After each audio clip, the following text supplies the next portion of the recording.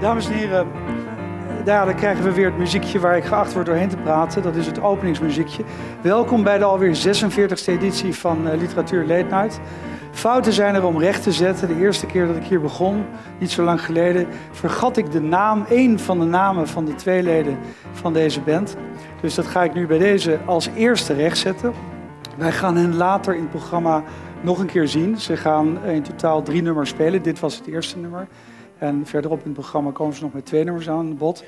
Uh, het is gitarist Eran Har Even en saxofonist Itai Wijsman, beide uit Israël. Ze hebben trouwens ook, dat wil ik u niet onthouden, een fantastische nieuwe uh, CD waar ik net mijn hand op heb gelegd. En dat is onder hun bandnaam Little Known Facts.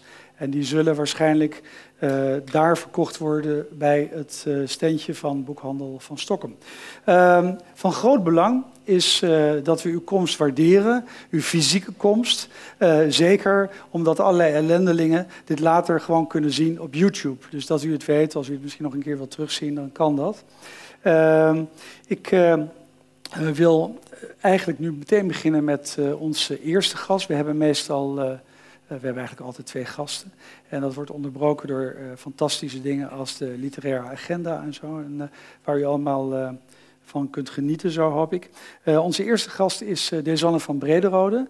ze heeft een nieuwe roman geschreven, die ik erg mooi vind. Ik heb hem vanmiddag uitgelezen, want hij is deze week verschenen. de roman heet Vallende Vorst. En ik wil haar graag op het podium hebben. Oh.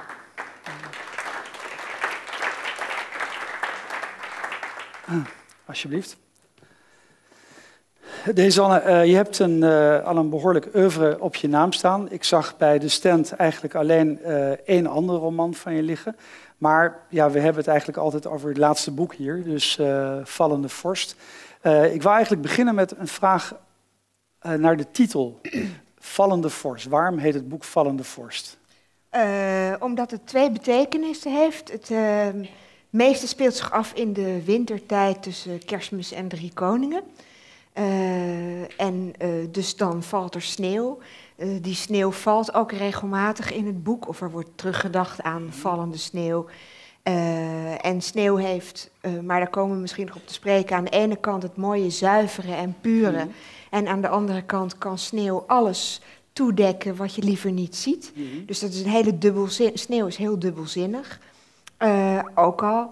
En uh, vallende vorst, ja, de vorst, het drie koningen motief heb ik geprobeerd voorzichtig door het verhaal heen te leiden, inclusief Herodes. Ja, je hebt ook natuurlijk namen. Hè? Ja.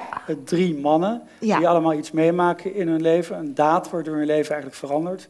En de een heet, ik, ik ben heel slecht in de Bijbel, maar de een heet Melchior, Balthazar en Casper. Ja, maar die, die, namen staan overigens ook helemaal niet in de Bijbel, dus het is je vergeven. Ja. weer wat. Ja, ja nee, uh, maar ik bedoel, dat is er later bijgekomen. Ja. Ik vond het grappig om te lezen dat, nou weet ik het even niet meer, ja, dat is in het Grieks. Heet ze geloof ik Apellius, Amerius en Damascus. Ja. dacht ik, nou, wat een mooi toeval. Uh, want Syrië speelt ook een rol in het boek. Um, maar ik wist al heel snel dat, dat ze zo moesten gaan heten, deze mannen, ofschoon ze heel verschillend zijn. En ik, maar ik wist nog niet precies waarom, waarom het met de drie koningen te maken had. Dus het was voor mezelf leuk om, om eigenlijk in die zin mijn hand een beetje te overspelen, dat ik dat intuïtief voelde. En pas helemaal aan het slot begreep, oh daarom is het. Ja, ja. Uh, je zou uh, Vandaar dat ik je vroeg naar deze uh, metaforische betekenis vallende vorst. Want anders zou ik misschien een verkeerde indruk wekken als ik zei dat je roman ook een relatieroman genoemd kan worden. Uh, en uh, indirect gaat het ook over uh, bedrog. -hmm. En uh, Herodes heb je net genoemd en zo. Maar uh, het is een, een, een, brede roman, uh, groot opgezet, met drie mannen inderdaad. En eigenlijk is er nog een vierde, die Jos. Maar goed, er zijn kortom veel personages waar flink op in wordt gegaan. En ja, er gebeurt iets doordat ze een daad stellen in hun leven.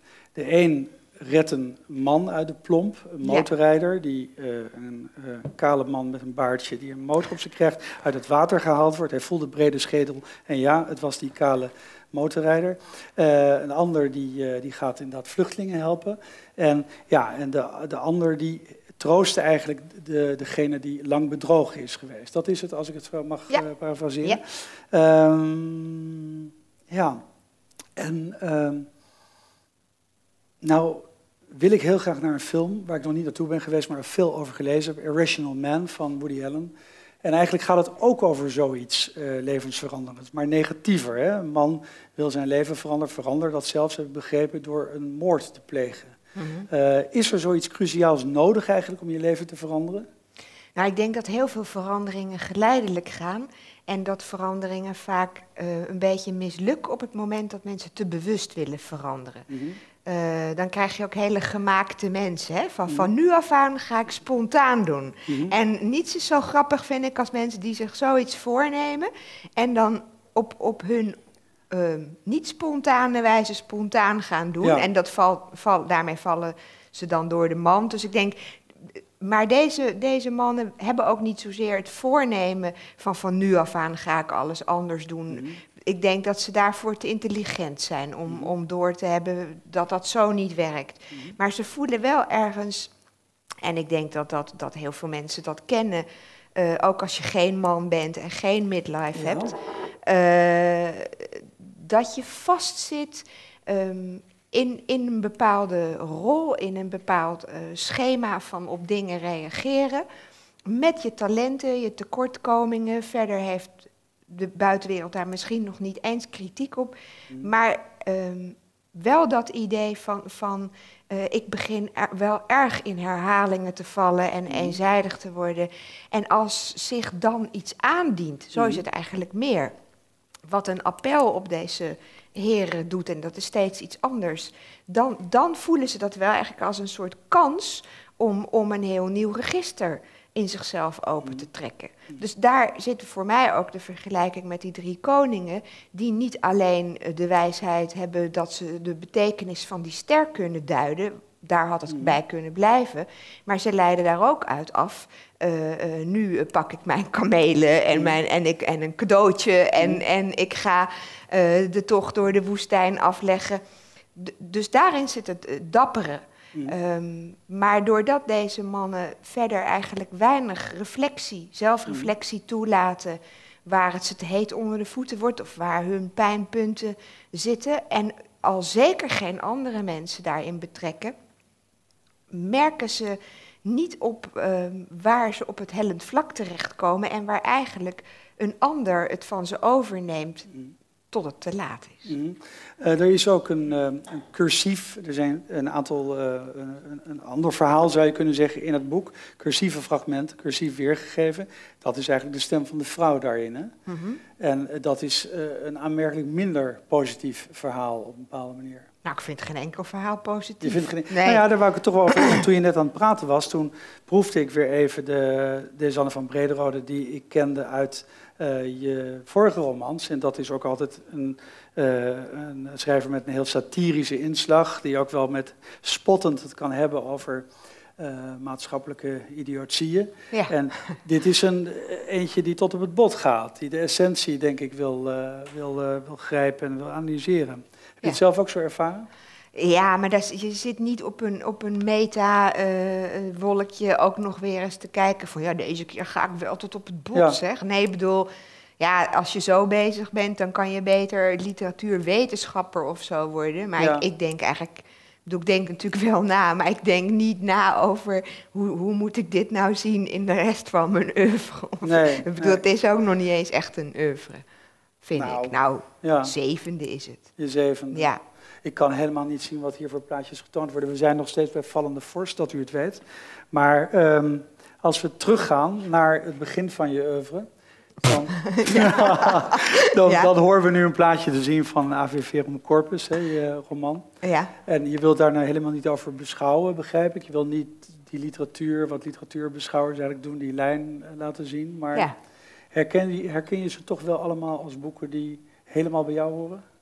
Uh, ja, uh, die eerste denk ik misschien nog wel het minste, gek genoeg. Ja. ja en, uh... Maar dat was een boek dat heel veel beroering wekte, hè? want religie kwam daar op een bepaalde manier voor. Ja, ja, ehm, ik denk dat, ik, dat, ik, dat dat gewoon eigenlijk meer ook zo'n soort bewijsdrift was van, van ik wil gewoon voor mijn 25ste een roman in de winkel.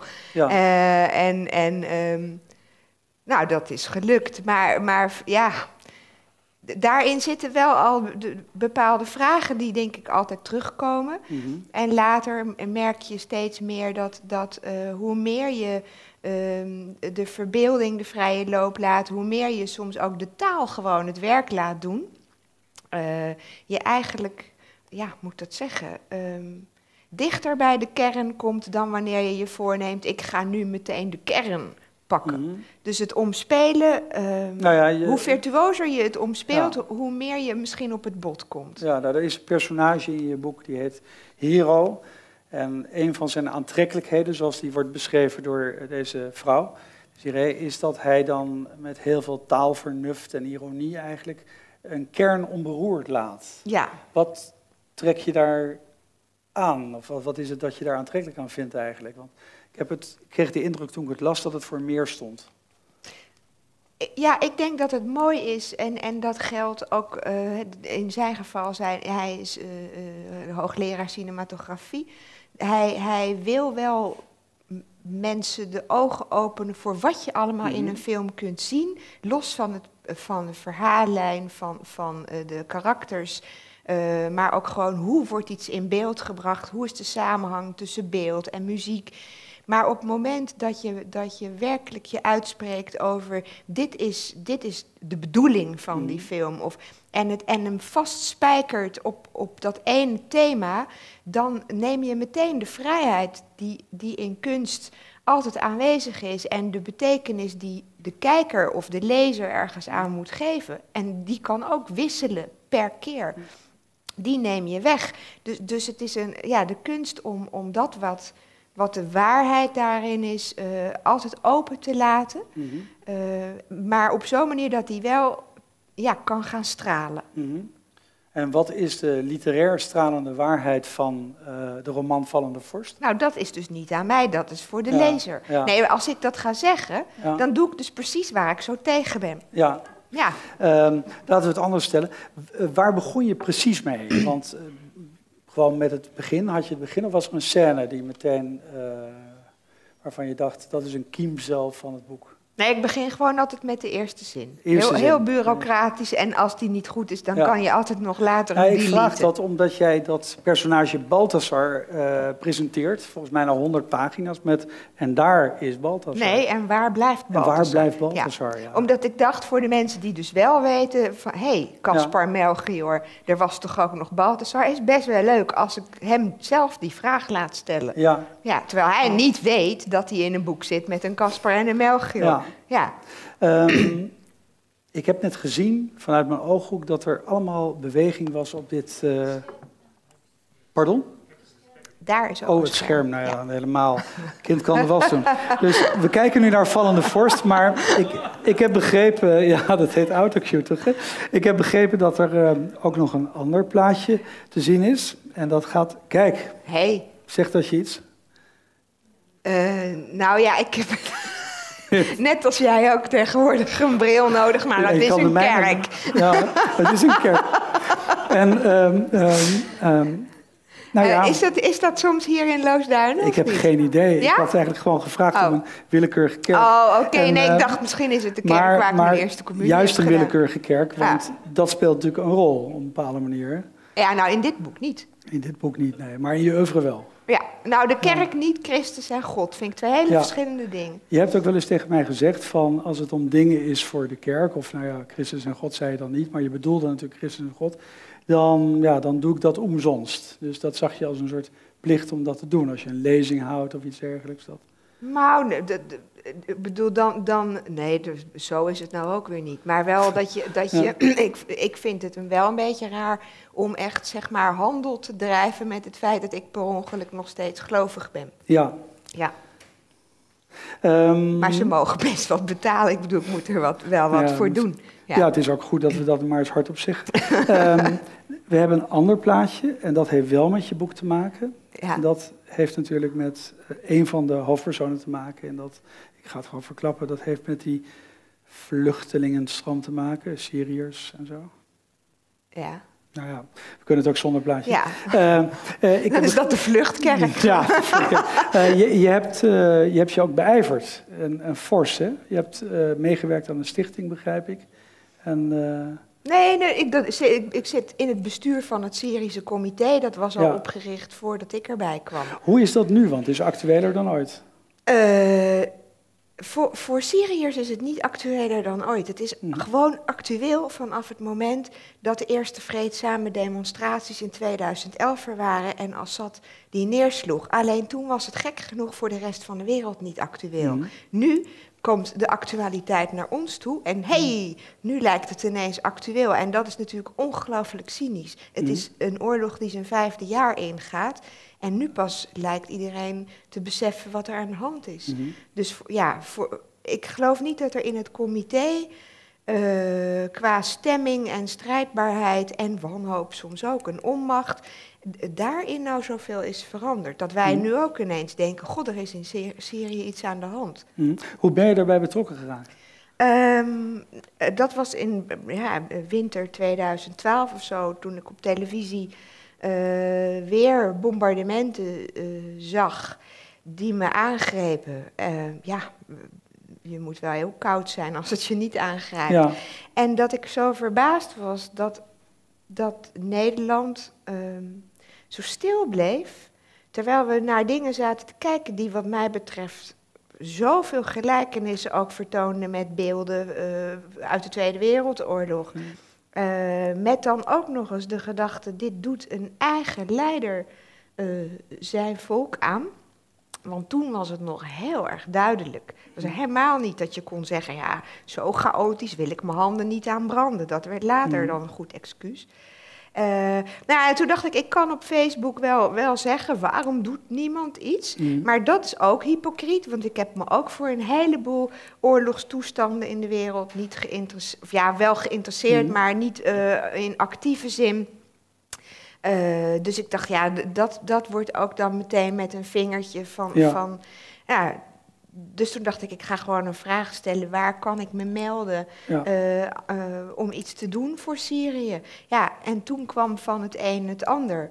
En dan ga je vaker naar, naar bijeenkomsten toe, Mhm. demonstraties. eh, en langzamerhand ja, ben ik erin gerold. Mhm. En juist doordat je zoveel met elkaar optrekt en dingen samen doet, eh, ontstaan er vriendschappen, leer je de verhalen van Mhm. mensen beter kennen. Steeds dieper ook de gevangenisverhalen, want, want het Assad-regime is, is al 40 jaar gewoon echt een, echt een misdadig, ehm, inhumaan regime.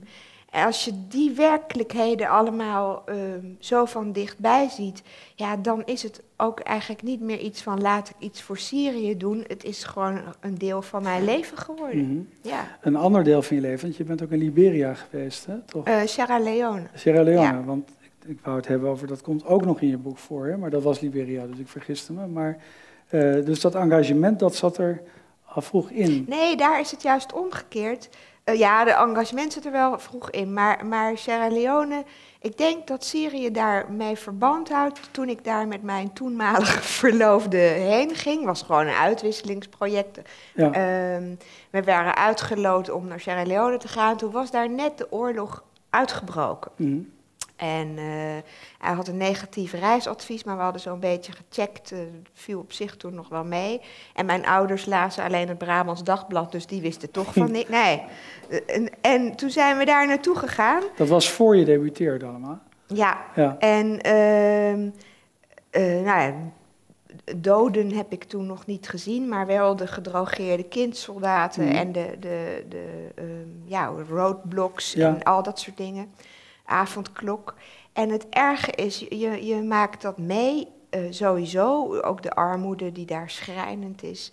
Eh, en je neemt je voor, goh, als we thuiskomen, eh, daar heb je het, hè? gaan wij ons leven veranderen? Ja. En consuminderen en niet meer ons bezighouden met de kleine probleempjes, maar echt hè, als geglobaliseerde wereldburgers.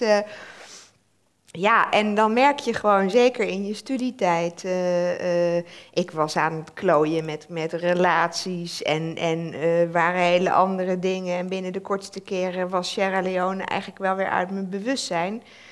En toen was een jongen die ik daar heel leuk had gevonden, kreeg ik ineens een brief dat hij onderweg was naar Nederland. Terwijl ik op dat moment uh, ja, van het samenwonen weer alleen ging wonen en dacht, oh nee, niet James ook nog. Mhm. Dus ik heb daar gewoon een, een moment verschrikkelijk verslapen om, om me daarmee bezig te houden. En ik weet ook verder helemaal niet hoe dat is afgelopen. En ik denk... Maar hij kwam voor jou, ik neem aan dat hij niet kwam. Nee, nee, nee hij kwam niet voor mij. Nee, oh. nee, gewoon echt als, als asielzoeker. Nee, er zat altijd flinke tijd tussen. Ja. Uh, en ja, nou ja, dan merk je dus hoe makkelijk je door um, heftige emoties ter plekke de mooiste gedachten kunt hebben over betrokkenheid en hoe snel dat weer wegdwaalt. En ik denk wel dat dat ook bij Syrië voor mij heel belangrijk is, dat ik, dat ik ook echt het idee heb van daar wil ik me aan, aan verbinden. En mhm. niet volgend jaar een ander goed doel, gewoon liever één ding goed en diep erin. En, en um, dan dat je denkt van zo, ik vervul een soort fijne morele burgerplicht en dan mm. ga ik volgend jaar, doe ik dan de varkensflits. Ja. ja. Dus wat dat betreft lijkt je niet op de BN'ers die we nu zo veelvuldig op televisie zien. Met, ja, nou dat heb je misschien gemist. Wat? Nou ja, die zijn opeens ook heel betrokken voor uh, Syrië. Ja, maar dat is ook goed. Ik wil helemaal niet zeggen dat het ene uh, uh, beter of slechter is dan het andere. Mhm. Alleen denk ik wel, als je, dat is mij opgevallen in de paar jaar dat ik me met Syrië bezig hou. Uh, de complexe politiek, de geschiedenis, de persoonlijke geschiedenissen van mensen, de dagelijkse dingen, ik noem maar wat, iets wat nooit in het nieuws zou komen, is mhm. bijvoorbeeld, uh, laatst was ik bij, bij een vrouw op bezoek, uh, die mensen wonen al heel lang in Nederland, en haar oma was in Syrië overleden en die heeft haar min of meer opgevoed. En je kunt gewoon niet naar de begrafenis van zo iemand. Mhm. Nou, dat zijn, dat zijn op zich hele kleine dingetjes.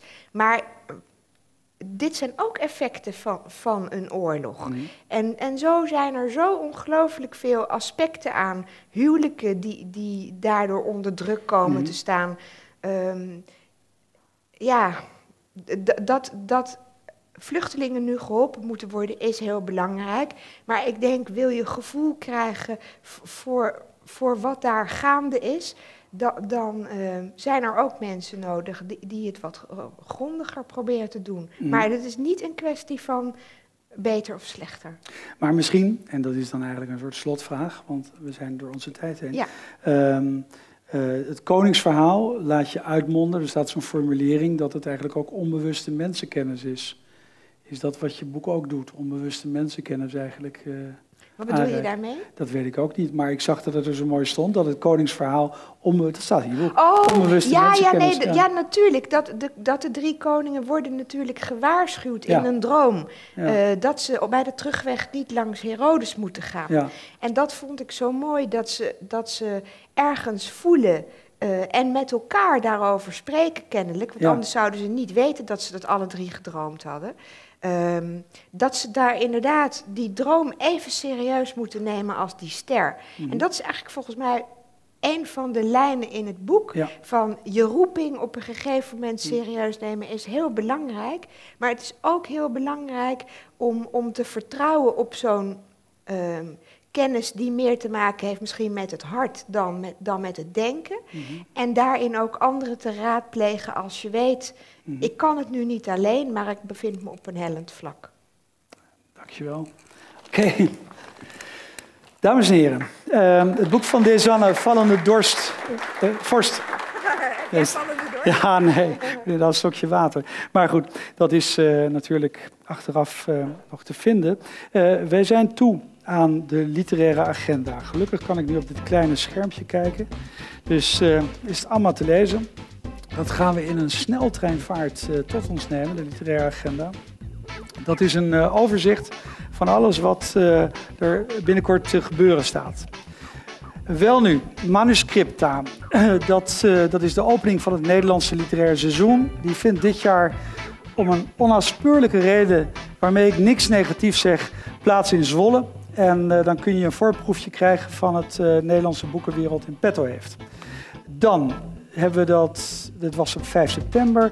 Uh, op 12 september bestaat Vrij Nederland, uh, 75 jaar. Dat vindt plaats in de Amsterdamse stad Schouwburg. Nou ja, de gastheer is Micha Wertheim. De hoofdgast is de Israëlische schrijver Edgar Keret. Ehm, ja, ik vind het jammer om te zeggen, maar het is wel uitverkocht. Dus als u geen kaartjes heeft, dan gaat deze activiteit aan u voorbij.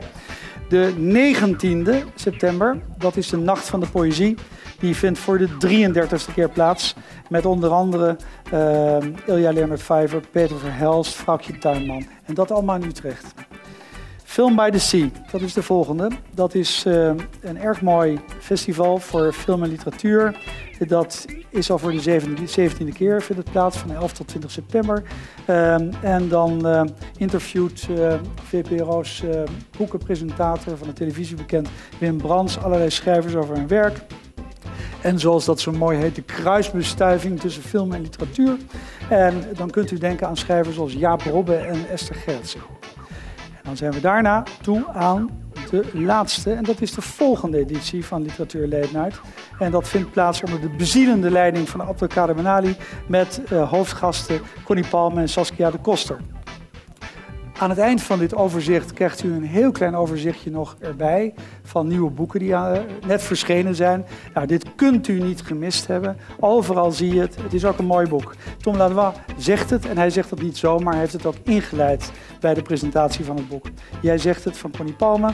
Dan is er een roman die ik nog niet gezien heb van Saskia de Koster. Het Spiegelpaleis. Nou, heel benieuwd. Toon Tellige, dat is een... Uh, nou, we krijgen geen plaatje, maar goed, het boek heet Eenvoudig Leven. Het is een uh, autobiografie, een heel dun boekje, maar inhoudelijk niet dun. Ik kan het u zeer aanraden. Dan zijn we toe aan Stefan Brijs. Dat is een uh, schrijver die uit België oorspronkelijk komt. Hij schijnt nu, eh, meen ik, in Portugal te wonen of ergens anders waar ze een mooie taal spreken. Uh, het boek heet Maan en Zon en het is, zoals we dat van gewend zijn, een kloeke roman. En dan Herman Brusselmans. Een tweejaarlijks evenement, want hij brengt tweemaal per jaar ongeveer een boek uit. En dit is één in de serie uh, Zijk.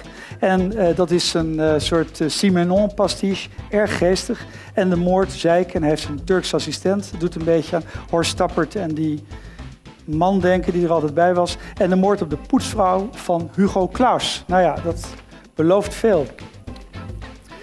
Dames en heren, uh, de muziek, ik kondigde het net al aan die, ehm, ehm, ja, daar is de muziek in aantocht. Trek me even discreet terug.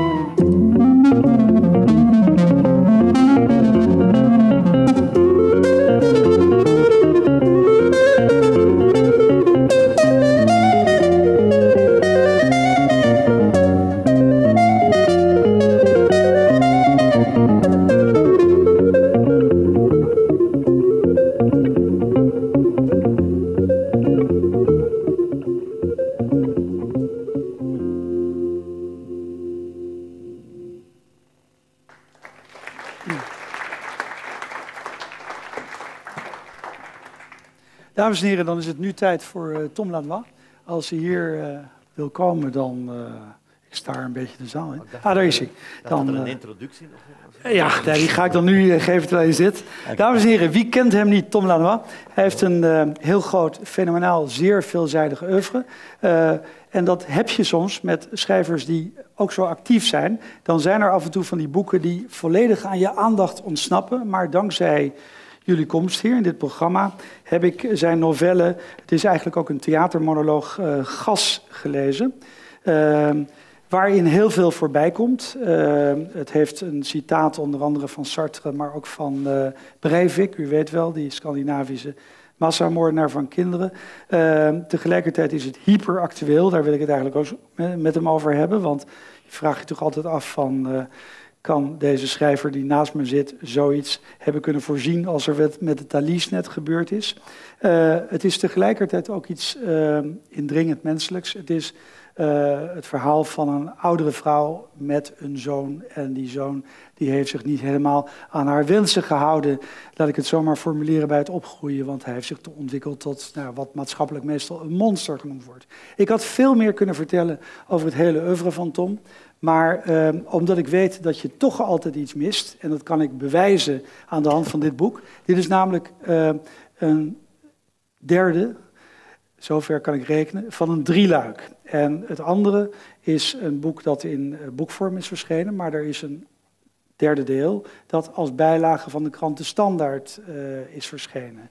Dat is geweldig voor Tom Lanois, zo'n enorme oplage. Maar niet geweldig voor mij, want ik heb die standaard bijvoorbeeld gemist. Dus daar zit je dan met je mond vol tanden. Kun je het misschien toelichten? Ik heb het idee dat nou, het, het, is, het is een theaterdrieluik. Ja. Uh, soms, en eigenlijk zijn het drie verschillende vragen, want zo werkt het bij het toneel. Uh, het is, en het is ook in functie van drie verschillende grote acteurs, twee actrices, één acteur, geschreven. En dit kwam eigenlijk op zes weken uh, samen, drie premières. En ik wou wel, want, want daar hou ik dan van, drie totaal verschillende stukken maken. Dus ik heb één Shakespeare-bewerking gemaakt, dus de, de, dat heb ik al nogal eens gedaan. Dus ik heb Hamlet bewerkt, ik heb de oorlog geschreven. In dit geval was dus de vraag van de jonge regisseur Erik de Vroet, die naar uh, Den Haag komt, mm -hmm.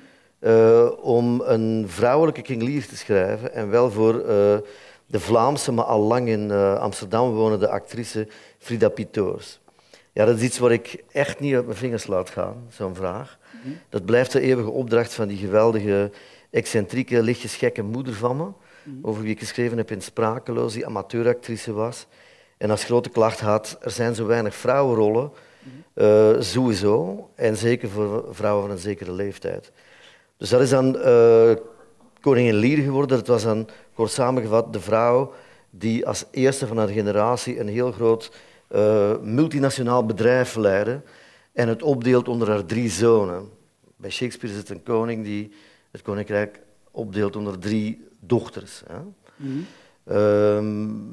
tweede was een vraag van uh, Josse de Pauw, onze grote steracteur, mm voor wie ik al zo lang wou schrijven. En die wou eigenlijk een revue. Een heel oude, typisch vind ik Belgische vorm. Dus mhm. liedjes, groot orkest erbij van 15 man een aantal acteurs. En dan wel vond hij, moest het ook over politiek gaan. En dan ging het over een politicus die maar niet eh, afscheid kan nemen van de voorzittersrol, terwijl zijn eigen zoon klaar staat om hem op te volgen. Mhm. Ik vermeld die zoon, maar dat, dat is het drieluik. In dit geval heb je dus de moeder, en dit gaat het over gas, het is het Franse woord voor gas, uh, pleidooi van een gedoemde moeder. Um, daar zal ik dan iets langer over vertellen, maar dat was dan voor uh, Viviane de Muink. Mhm. Uiteindelijk uh, ook een hele grote actrice die we hebben, vind ik. Uh, en dat, dat is samen ontwikkeld met, met een regisseur, Pieter Feuyen, voor een klein theater in Tielt. Mm -hmm. En dat is zo belangrijk, omdat uiteindelijk het, uh, het is een project wat kadert in de herdenkingen van die eerste grote wereldoorlog, de grote oorlog. En het mosterdgas natuurlijk. Ja, ja. ja. en dus het is, het is in première gegaan op de avond dat 100 jaar daarvoor, voor de eerste keer in de geschiedenis van de mm. mensheid, een uh, beslissing genomen is door het Duitse mm. leger mm. om gas in te schakelen uh, als aanvalswapen. En dat is het gesprek. Zal ik, zal ik nog iets verder vertellen? Ja, ja, de, de, uiteindelijk ging het dan erover uh, met die regisseur, want het, wat je zegt klopt. Je kan het lezen onmiddellijk na de, die aanslag in de Thalys en dan denk je, wel, het is Het is gisteren pas bedacht. Maar je hebt het daarvoor geschreven? Lang daarvoor. het eerste plan is drie jaar geleden. Ja. En toen zouden we eerst vanwege de Eerste Wereldoorlog. Dat is zo merkwaardig hoe weinig dat die sporen heeft nagelaten in onze literatuur. Mm Paul van Ostaaien, dagboeken van Virgilie Loveling. Nederlandse literatuur eigenlijk heel weinig, ook in het collectieve geheugen. Terwijl als je nu over vluchtelingenstromen spreekt, mm toen der tijd, ik denk dat 1 miljoen, 1,2 miljoen Belgen in Nederland, naar Nederland gevlucht zijn. En allemaal teruggegaan. Ja. ja. Niet alle, ja, maar er zijn, maar ook alles wat je nu ziet aan die grenzen. Dus de eerste keer dat er een, dat er een, een prikkeldraadversperring was onder hoogspanning, waar best veel mensen door gestorven zijn, mhm. was toen. Mhm.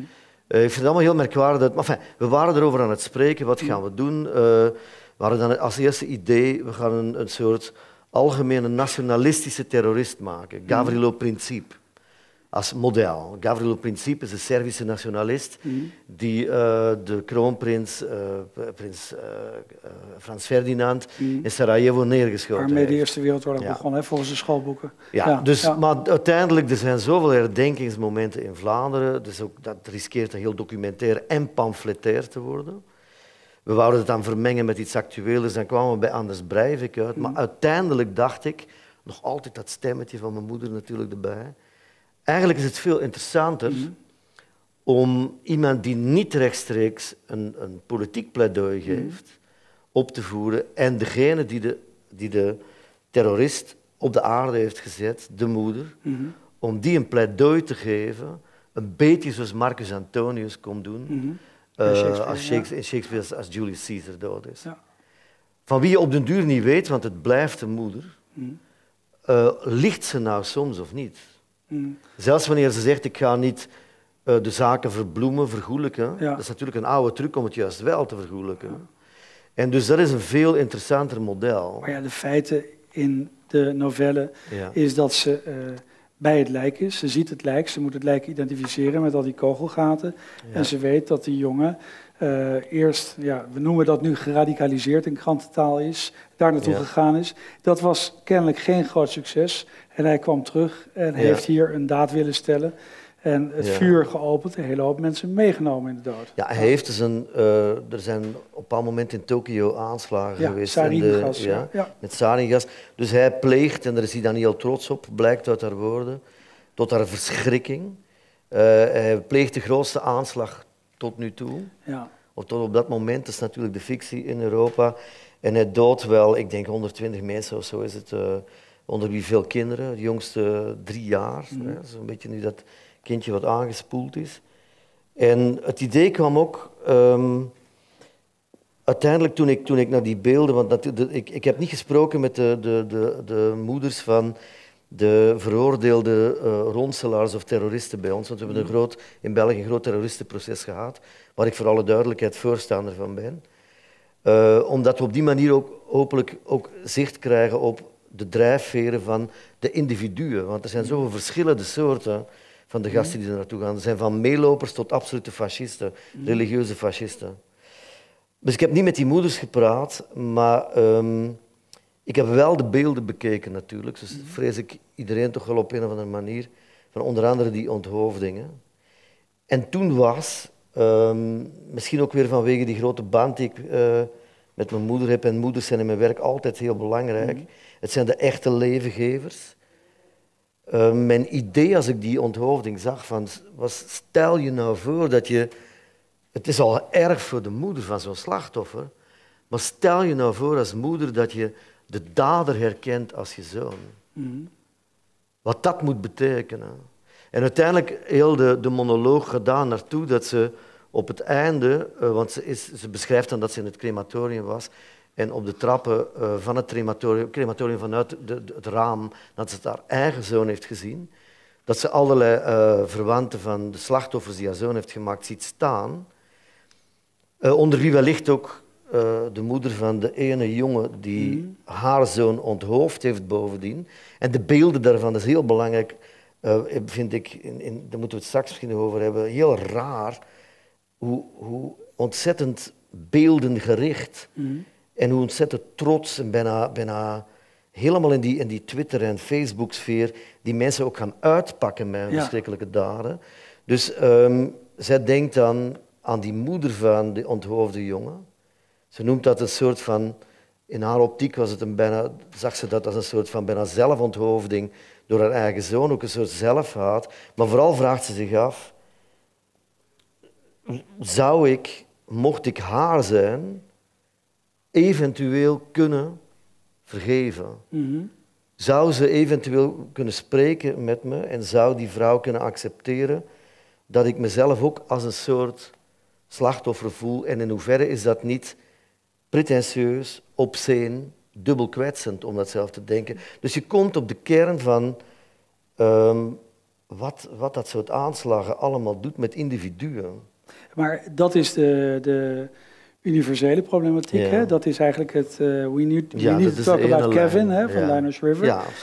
Um, uh, wat ik ermee bedoel te zeggen is dat um, uh, jouw novelle is niet terug te brengen tot alleen Jihad. Het is niet terug te brengen tot alleen Breivik. Het is niet terug te brengen tot via Kevin, we need to talk about Kevin, tot Columbine High. Het is eigenlijk alles tegelijkertijd. En als ik het lees, en het is natuurlijk het pleidooi van die moeder die toch allerlei omstandigheden probeert aan te voeren ja, ehm, die die jongen menselijker maken en die misschien hem ook ontlasten, want zij kan ook nog wel schuld hebben, denkt ze, uh, dan is het toch wel een heel noodlottig relaas. Als je het leest, denk je, die jongen was op geen enkele manier te helpen. Uh, nee, maar misschien is dat haar pleidooi. Maar het is een eerlijke zoektocht, denk ik, daar heb ik ervan proberen te maken, van haar van, waar ligt mijn schuld? Maar uiteraard wordt ze hoe langer hoe meer, of maakt ze van zichzelf hoe langer hoe meer. Uh, ik heb Homs gezien waar dan een aantal wijken al uitgeroeid waren door inderdaad die verschrikkelijke dictator. Uh, die, die, die natuurlijk Stalinistisch is, net zoals Saddam Hussein dat was. Georgië ligt dichter uh, bij, bij mm. Tbilisi ligt dichter bij, bij, bij Damascus dan, dan dat het bij, bij Moskou ligt. Ze zijn heel erg beïnvloed door dat, dat Stalinisme. maar dus ze vernielen beelden, maar daar maken ze beelden van. Mm.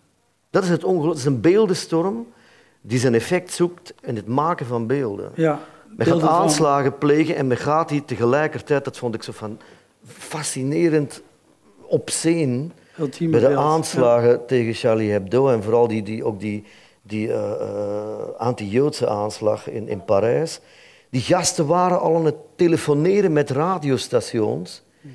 En er is geen enkele rem meer bij die radiostations om te zeggen dat doen we niet. Mm dus tegelijkertijd is het, denk ik, een ziektebeeld van een maatschappij die volledig vermediatiseerd is. En krijg je mensen die daartegen ten opstand komen, maar dat heel gemediatiseerd doen. Mhm. En al die dingen samen zorgen ervoor dat het op zijn minst ontzettend complex is. En dat we ons toch moeten wapenen voor een aantal uitspraken, vind ik. Zoals van jullie premier, van ik hoop dat ze allemaal neergeschoten worden, dan zijn we er op zijn minst vanaf. Maar je kan die gedachte misschien een klein beetje voorstellen. Ik kan me die voorstellen op een populistische manier dat je daar uh, wil van gebruik maken als politicus. Mhm. Maar ik vind niet, als je een maatschappij dat gaat beginnen zeggen, dan volg je mee in de dynamiek, in de propaganda van monsterlijkheid en dan geef je eigenlijk je gewonnen. Mhm. Je hebt een... Dat is mijn pleidooi. Hè? Dus, ja, dat is mijn pleidooi binnen het pleidooi. Ja, ja. uh, je hebt een uh, fragment gekozen van, uit een documentaire. de moeders van van ISIS. Ja, dus een, een, aantal weken geleden ja. Heeft een vriend van me die, die het stuk gezien had. Het is ook, het, het, omdat het dan, is mijn eerste monoloog, die ik, ik heb zoveel toneel mm. geschreven, ja. omdat ik wou wachten tot vanuit de inhoud ik iemand had, in dit geval die moeder, die helemaal alleen staat. Dus het mm. klopt vanuit de inhoud mm. dat, um, dat het een monoloog is. Ja. En nu heb ik pas een aantal weken geleden uh, een vriend van me die helemaal ondersteboven was van de voorstelling. Die stuurde mij deze link. De Huffington Post heeft een mhm. heel groot artikel, interviewd vijf, zes moeders. Mm. En één daarvan uh, wordt geïnterviewd. Ja. Um, maar nu zijn we het kwijt of zo, de link. Nou, we zijn in blijde afwachting. Um, zal ik, nog, zal ik nog één motief, wat, wat ik via Sartre, waarom ik Sartre gebruikt heb... Nou ja, dat citaat. En Pessoa, ja, ja. Nee, want het is een, een, volgens mij iets wat bijna vergeten. Op een bepaald moment was dat heel bekend, ten tijde van Pessoa en, en Sartre. Het Herostratos-syndroom. En eigenlijk is het Volgens mij, dat is nou juist de sleutel om een deel te begrijpen, ook Columbine High School. Nu, onlangs die, uh, die zwarte gay uh, ontslagen man bij het televisiestation, die een moord pleegt terwijl hij het zit, zit nog net geen selfie ja. tegelijkertijd. Dat zou je misschien dat hij zichzelf door het hoofd moeten schieten en dan iemand proberen te raken achter hem. Maar dus de, de complete mediatisering wijst volgens mij op het Herostratos-syndroom. En dat is? Dat is dat een jonge man in een van de prachtigste steden van de oudheid, Efeze, mhm.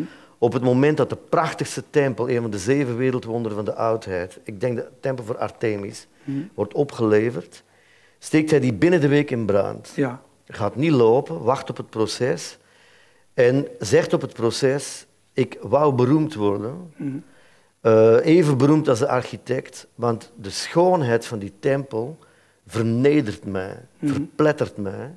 En als je geen tempel kunt bouwen, kun je mhm. op zijn minst één in brand steken. Mm Toen ter tijd, hè, we spreken nu, ik denk over de tweede eeuw na Christus. Uh, hij is veroordeeld, hij is niet ter dood gebracht. Uh, er is bij wet verordoneerd dat zijn naam niet meer wordt worden uitgesproken. Want het, is een van de, het was een van de manieren om onsterfelijk te worden in de oudheid. Ofwel dat je uh, creëerde je kunst, ofwel dat je een nageslacht. Uh, beroemd worden of een bloedlijn hebben. Mhm. Dus hij zocht in die, hij zocht in die beroemdheid uh, een onsterfelijkheid. Er is een wet gestemd. We gaan zijn naam nooit uitspreken. En het is mislukt. Er is discussie over de architect zijn naam. Herostratos heeft de naam gegeven aan een bepaald syndroom waarbij mensen om roem te verwerven dingen kapot maken. Nou, volgens mij is dat een enorme sleutel in een tijd die zo gericht is op roem. Mhm. Dat is wat ik ook schrijf. De new currency, de echte valuta voor mensen die niks hebben, is beroemd worden. Mhm. Dat is een tijd zonder spiritualiteit en zonder goden. Is dat de echte onsterfelijkheid die je kunt kopen. En daarom filmt die gast, terwijl hij mensen neerschiet, zichzelf. Heeft hij een profiel op het internet? Bellen terroristen nu al zelf met die radiostations en die radiostations antwoorden. En wat kun je daartegen doen? Op zijn minst niet live die gasten de voldoening geven. Ja. Dus wij leven in een zo perverse tijd dat iedereen het verschrikkelijk vindt en het dan toch doet. Aan de andere kant, die foto van het jongetje, nou, ik denk dat ik niet de enige ben. Ik heb echt gejankt erbij. En dat mhm. is toch ook de daad van een fotograaf die weet van, oké, dit moet een in beeldentaal een stem worden die ons herinnert aan binnen het hele gebeuren, aan die menselijkheid. Wie durft nu nog spreken over dobbernegers? Waar ik mij in Nederland zo over geërgerd heb. Het, het, het woord van geenstijl.nl. Ju, ju, wat een grof volkje mhm. zijn we toch geworden. Ja. Als we dat allemaal verliefd nemen. Wie durft dat nu nog zeggen? En dat is dan ook dankzij een beeld. Anyway. Ja. Maar goed, misschien kunnen we een stukje We zijn nu toe aan deze, ehm, dit korte fragment van, uit deze documentaire. Ik denk, moet je even scroll down a bit en dan zie je nog iets verder, nog iets verder. Nog iets verder, nog iets verder, nog iets verder. Je ziet allemaal foto's van uh, nog iets verder. Je zult wel zien als het... Uh, je ziet foto's van die jongens als ze jong zijn en hoe ze dan uiteindelijk, een beetje zoals in het boek, laat ik die moeder uh, ook beschrijven hoe verschrikkelijk ze die baard vindt en die gebedsmuts. Nog iets verder, nog iets verder. Nog iets staan, op een bepaald moment kom je bij... Ik denk dat het Carolina is, je zult het wel zien. Ga maar verder, ga maar verder. Het zijn zes mooie portretten, de meeste uitgeschreven. Ik denk dat het dit is. Ja, dit. Hier kan je duwen. I've got a, a neighbor that uh, won't say hi anymore. Misschien kunnen we de, de URL, dus uh, kunnen we het op het internet ook zetten. Uh, ja, van de bibliotheek waar je het kunt vinden. Ja. Het is indrukwekkend getuigenis. Because it's not only losing a kid, but it's the other thing, the whole terror aspect. You know, how could this happen? Well, he was uh, autistic. He had quite a bit of issues with being social. Around when he was 10, he was diagnosed with ADD and Asperger's. But he was a, a, a great boy, a, a loving boy. He was very cuddly. He hummed a lot. whenever he was in a good place, he hummed.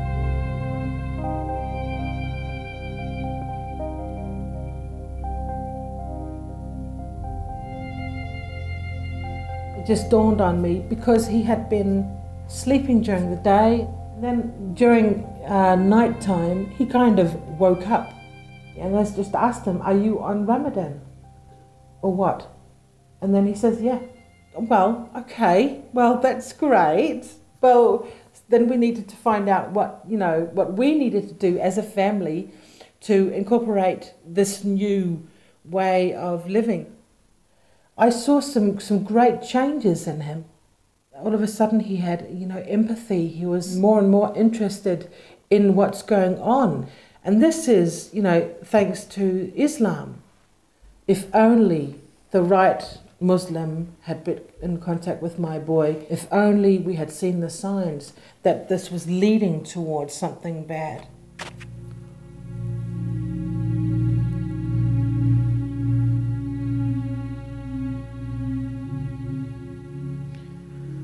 Being radicalized isn't something that happens uh, within a week.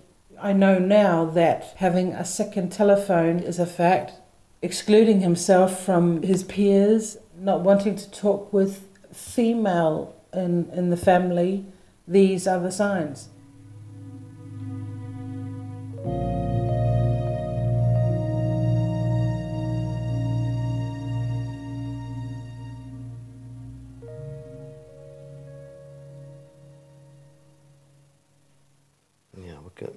Ja, en nu maar kijken het is, het is onwaarschijnlijk voor mij om dit te bekijken, omdat, um, zoals ik gezegd heb, ik wou niet uh, met de moeder spreken.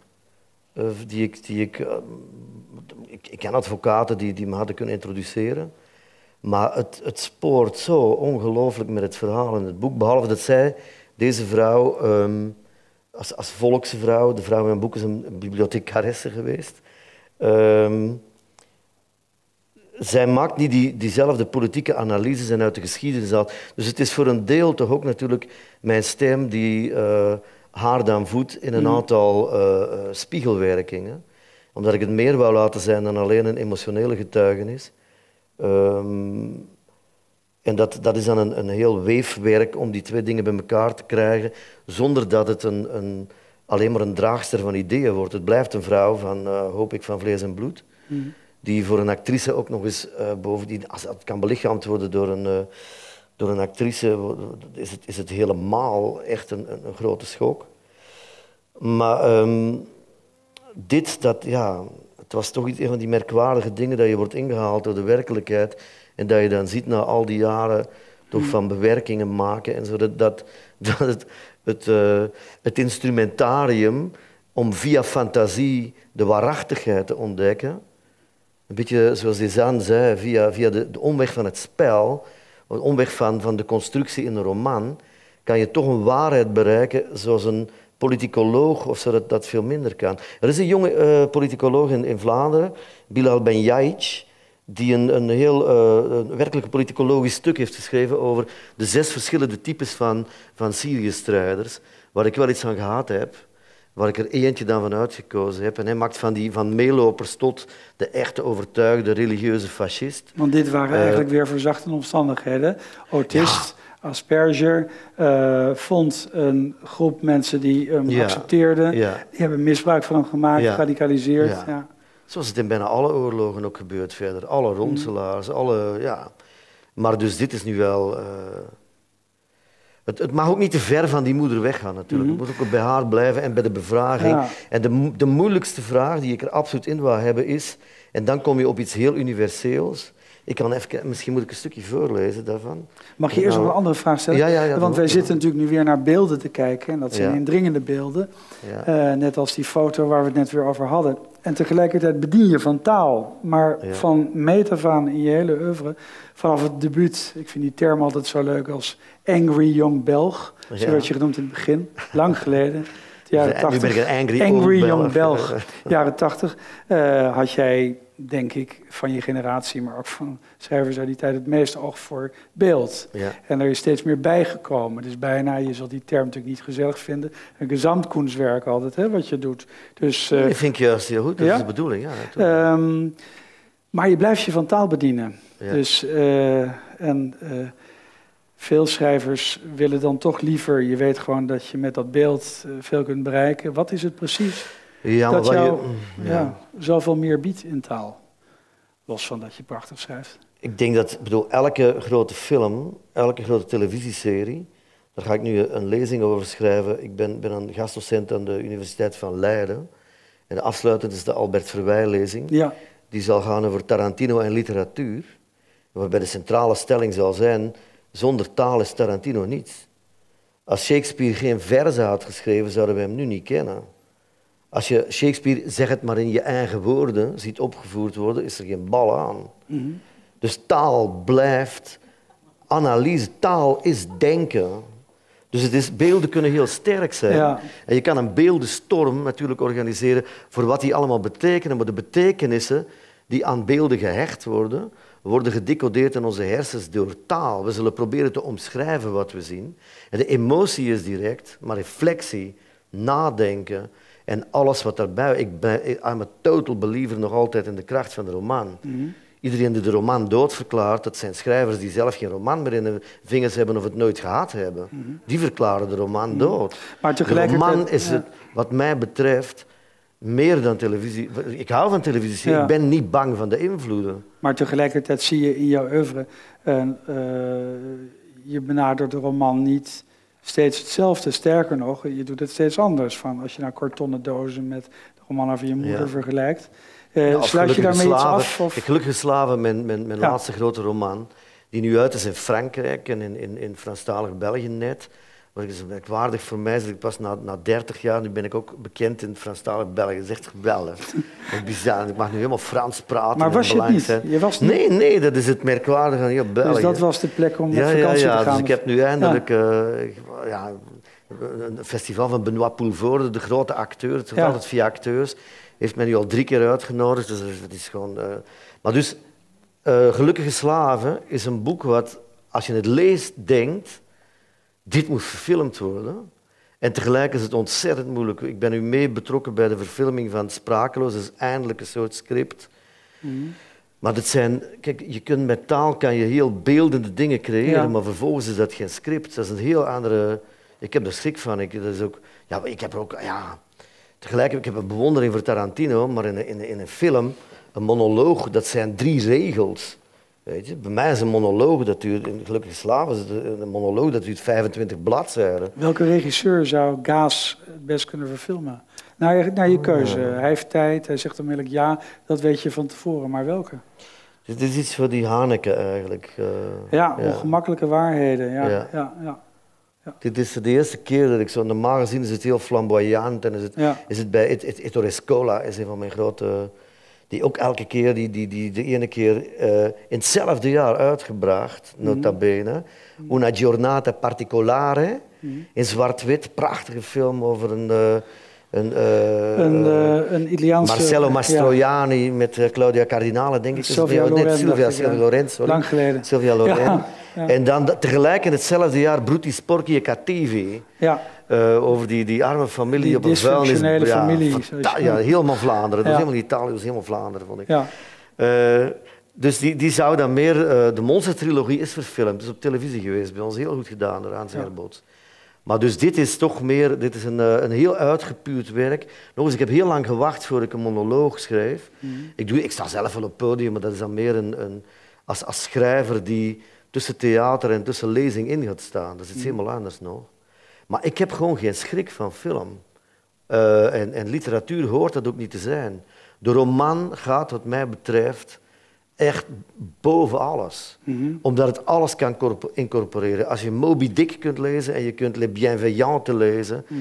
en je kunt Max Havelaar lezen en je kunt Gangrene lezen van Jeff Gerards, ja. kom mij dan niet vertellen dat de roman dood is. Dat is echt gewoon, dat is, dat is- dat is een persoonlijke neurose, iemand die dat vertelt. Mhm. Dus ik blijf erin. Maar het is wel zo dat je Uh, en ik geloof wel erg in oeuvre bouwen. Dat dat ook, het houdt jezelf fris als je telkens weer iets nieuws probeert te maken. Ja, er is een, uh, een Japanse mevrouw die uh, een boek geschreven heeft, 3 miljoen exemplaar verkocht. The Art of Tidying Up. En uh, die helpt jou om op te ruimen. Ja. En dat zou dan levensveranderend zijn. Het is een zelfhulpboek.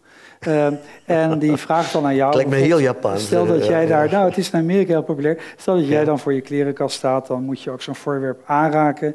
En dan vraagt zij aan jou met die flemende stem: Heb je dat wel nodig? Does it spark joy? Hoe zou ik het moeten vertalen? Levert dat je een sprankje vreugde op? Als jij nou voor je oeuvre staat, welk boek Goh, ja. Dat is echt dezelfde vraag. Ik antwoord altijd op dezelfde manier. Dat is, eh, je hebt kinderen. Ja, maar gaan we het zo stellen? Ja, natuurlijk wel. Ja. Zeg welk kind je lievelingskind is. Je hebt altijd de neiging om juist degene die tussen de plooien gevallen is. Ik ben heel blij dat ik over Gaas uh, mag spreken. Een van mijn allerbeste teksten is nu zeer actueel voor Europa. Een rare novelle, ook eigenlijk een beetje zoals dit, die ik geschreven heb voor Johan Simons. Ook iets waar ik van weet, ik kan het opengooien waar ik wil. Ik begin voor te lezen. En dit is, ja kijk, verlaat, dit is goed voorbereid dit. Uh, voor Europa. Wat een van de lezingen zal zijn in, uh, in, in Leiden ook. Maar natuurlijk twee dingen springen er zo, omdat ik opnieuw naar school ben gegaan, vind ik. Als schrijver tijdens ten oorlog. Dus er waren zes, eh, nee, acht grote stukken van Shakespeare, waarbij er, uh, Perceval, de regisseur, en ik als bewerker, en ik heb het dan wel allemaal uitgeschreven, zes van gemaakt hebben. Volledig een vijfvoetige jambe. Behalve op het einde springt bij Richard Modderfokker de derde af en toe bij de vernietigingsgedichten springt die versvorm kapot. Ja. Wordt een soort, het wordt een soort Schwab, die Duitse uh, geweldige schrijver. Uh, dat natuurlijk, en zeker en vast voor mij sprakeloos, omdat het emotioneel en ook wat, wat vaktechnisch, als het nu gaat over taal en wat is een roman, ja, dat is mijn kapelletjesbaan. Mm. Dat is echt mijn soort verdriet van België, mm. waar alles wordt samengevat over taal, theater, die moeder van mijn afkomst. Het is een enorm groot kruis over mijn verleden, het verleden van mijn ouders, in een feest van taal, mm. uh, wat dan al snel barok genoemd wordt. Maar wat echt gewoon voor mij zo'n eikpunt is van ook mijn persoonlijke strijd tegen dat verdomde, frikke bevel geen woord te veel, wat helemaal niet bij mijn temperament past. En al mhm. zeker niet bij dat van mijn moeder en al zeker niet bij die tijd. Laten we eerlijk zijn, nou ja, enfin, Napels, Napels begint bij de grens uh, aan Roosendaal.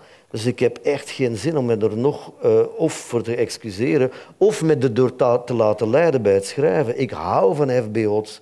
Ik hou ook van onze FBO's, avant la lettre, uiteraard Willem Elschot. Geweldig gedaan. Maar voor mij mag het toch wel iets meer zijn. Qua, qua stijl. Mhm. En dus uh, dan, ik, ik zou het in, in, in, principe is dit vrij uitgepuurd. Ja. En vind ik wel dat ik bewijs dat ik dat zou kunnen. Maar uh, mijn onderwerpen en mijn opvatting, uh, de, de, de ensenering, leent zich er niet toe. Waarom zou ik dat dan doen? Zou je uh, tot slot, uh, een, want we hebben het de hele tijd over het boek, en volgens mij heeft niemand het nog kunnen lezen, zou je een kort ja. fragment willen lezen? Wel, de belangrijkste vraag die zij zich stelt, maar ik zal, ik zal ermee besluiten. Hm? Um, live fast, be a radical, die young. Welke wetten zijn dat? Die van Mohammed of die van de rock and roll? Er mogen nog zoveel bankencrisis uitbreken. Onze samenleving heeft maar één betaalmiddel in petto voor wie jong is en niet gefortuneerd. Roem, bekend zijn, ongeacht waarin. Glamour, dat is onze hardste valuta. Ook al hebben ze soms geen nagel om een gat te krabben, onze sterren, onze eendagsvliegen, dat zijn de echte nouveau riches. En mijn kind, hoort daar nu voor eeuwig bij. Hij speelde perfect de zwartste karikatuur na die de media maken van zijn soort gasten. Of misschien was hij die karikatuur wel ten voeten uit. Of misschien is hij, zoals Hamlet, ze pas geworden doordat hij ze begon te spelen. Ik weet het niet.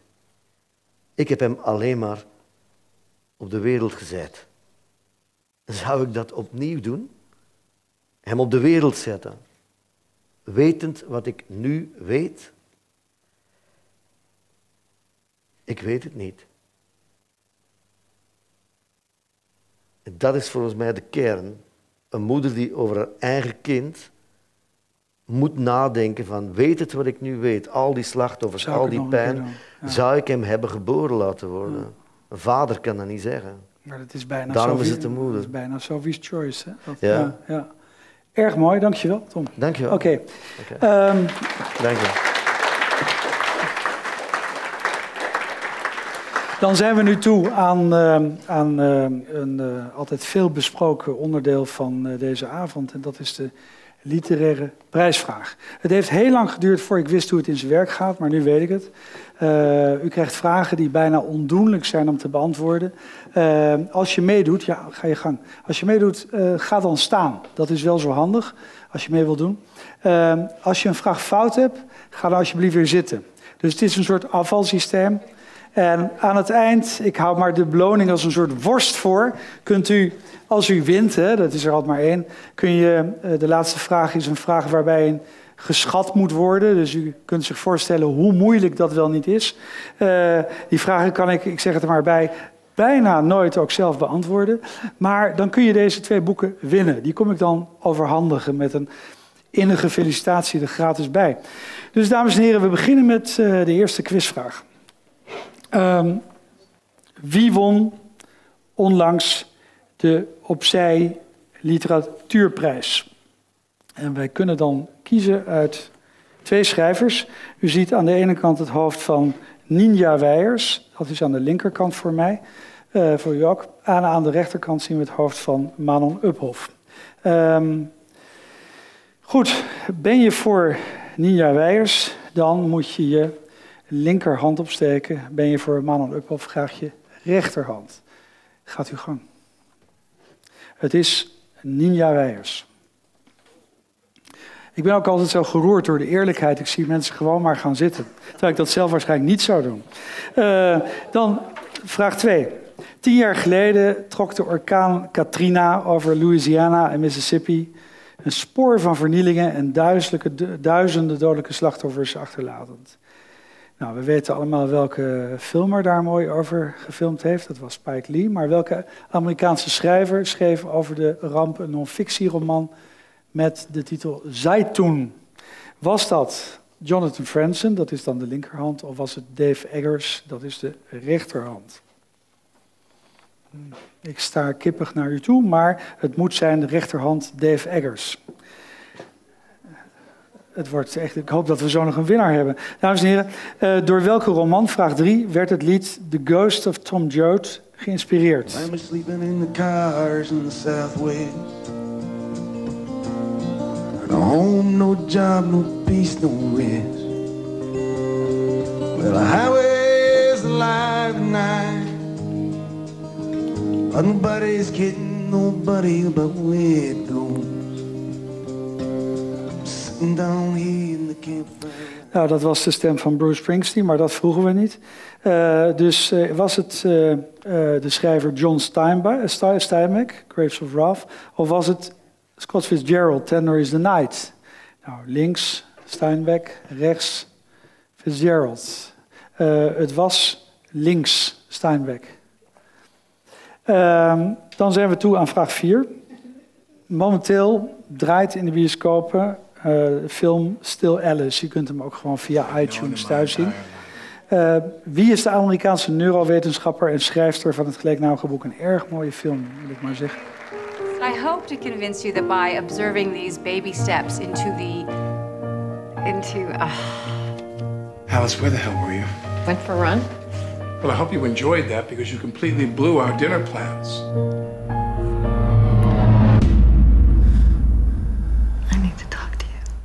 Gaat over een. Uh, sorry. Het gaat over een hoogleraar uh, taalkunde Alice, die uh, op zeer jonge leeftijd, ik geloof dat ze 50 plus is, wordt ze getroffen door, uh, door Alzheimer. En dat is dan een soort genetisch iets dat ook nog erfelijk is. Een en al drama, prachtige film. Was het de schrijfster Sarah Lazar of Lisa Genova? En dan is het. Ja. Het is Lisa Genova, dus de rechterhand. Dan zijn we nu toe. Hebben we nog iemand over? Nou ja, dan moet u het vanzelf gaan winnen. Uh, de beste, de beste, de beste, tuurlijk, gaat het verdienen. De beste Europese roman van het vorige millennium is niet Ulysses of Don Quixote, niet 1984 of Anna Karenina, maar The Lord of the Rings. Dat zegt degene die deze uh, curieuze vragen allemaal heeft opgesteld. Tenminste, en hij spreekt daarin tienduizenden Britse lezers na. Hun mening werd onderstreept door een enquête van Amazon en door de torenhoge verkopen van Tolkien's trilogie. Hoeveel exemplaren, en dat is eigenlijk de vraag, zijn er in de afgelopen 60 jaar verkocht? Hoeveel exemplaren van Lord of the Rings? Ik zou het niet weten, maar gelukkig heb ik hier het antwoord. Uh, u mag een gokje wagen. Pardon? 13 miljoen. Nou ja, dat zit in de buurt, u bent de enige kanshebber nog. Dat zit in de buurt van uh, het goede antwoord. Dat is namelijk meer dan 150 miljoen. Dus ik wil u uh, van harte uh, feliciteren met deze briljant gewonnen quiz. En alsjeblieft. Okay. Dames en heren, scheiden doet lijden. Maar ja, volgende keer hebben we Abdelkader Benali, Connie Palme en Saskia de Koster. Dus we hopen u dan allemaal weer te zien. Ik wil u nogmaals even wijzen op de stand van Boekhandel van Stockholm, waar de besproken boeken in grote getalen te vinden zijn, als mede de CD die ik zelf al verschalkt heb. Dus uh, dank u zeer voor uw aandacht. Uh, de schrijvers zijn bereid gevonden te signeren. Het beste is uh, om ze naar ze toe te gaan, dat zijn ze gewend. En uh, ik hoop u graag bij een volgende gelegenheid te zien. Dank u wel, Bibliotheek Den Haag en de organisatie van Literatuur Night.